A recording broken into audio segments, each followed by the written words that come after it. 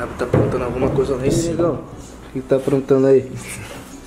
Pô, tô criando uma campanha aqui pra essa semana. Muita gente tá querendo espelhamento, né? Pra ver YouTube com as crianças, né? E aí eu criei essa, essa campanha que é o mesmo espelhamento que eu uso no meu carro, que é esse aqui, ó. Né? Você pluga, a pessoa pluga no USB do carro. O legal é que a pessoa pode receber do Brasil inteiro. Não precisa de instalação. Ela pluga no USB do carro, o carro precisa ter CarPlay de fábrica. É qualquer carro com CarPlay. Pluga no USB, ela vai ter o espelhamento do smartphone, ela consegue ter o vídeo aqui do YouTube, né, do pendrive, né? Ela grava os vídeos. Criança é o seguinte, Diogo.